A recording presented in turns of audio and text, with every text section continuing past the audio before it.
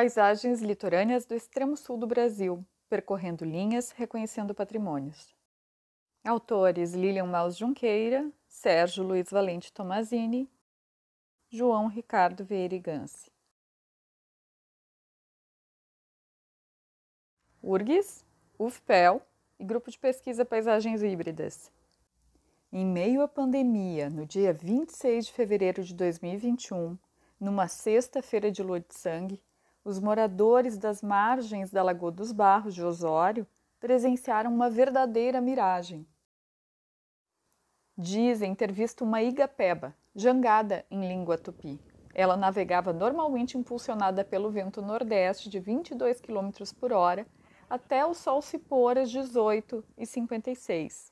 Foi quando a lua cheia de sangue e rosada nasceu no horizonte cortada pelos cataventos da usina eólica da região e, de repente, a vela da embarcação iluminou-se, duplicou de tamanho pela força do vento, formando assim um triângulo de fogo que durou aproximadamente 10 minutos.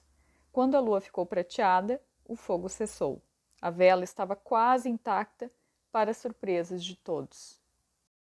O Triângulo de Fogo sobre as Águas integra o projeto Linhas Cruzadas de autoria de Lilian Maus, desenvolvido durante a residência Casco, no verão de 2021, na comunidade de Passinhos, distrito de Osório, litoral norte gaúcho.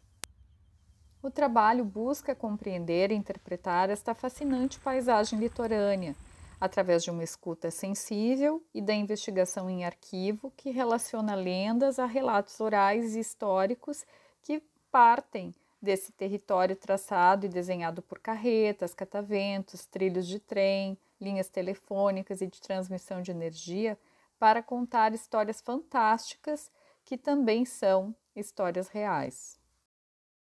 O trabalho busca ativar uma rede de conexão afetiva entre os moradores locais, a fim de que contem suas histórias de vida e resgatem eles mesmos as histórias dos seus ofícios e das artesanias que estão se perdendo na região. Como resultado da pesquisa, está sendo editado um filme, ainda em andamento, e foi apresentada uma exposição de Lilian Maus na Fundação Força e Luz, em Porto Alegre.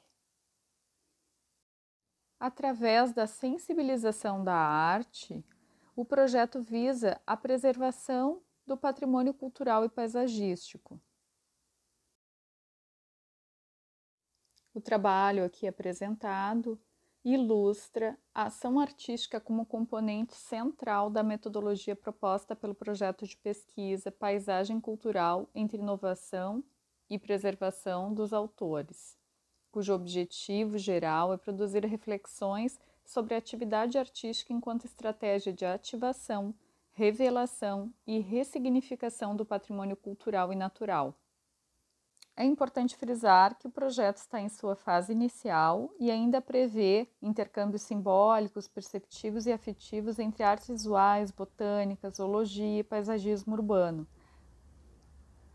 Também serão exploradas as regiões do extremo sul do Rio Grande do Sul, tendo como rotas de referência aquelas realizadas pelo expedicionário Auguste Saint-Hilaire, que este ano comemorou 200 anos de sua viagem ao Rio Grande do Sul. Serão realizados inventários poéticos científicos criados a partir dessas paisagens e do Pampa, abarcando manifestações culturais tais como artesanias de pescadores e comunidades indígenas, além de realizado um levantamento ilustrado de fauna e flora da região, ainda a ser explorada.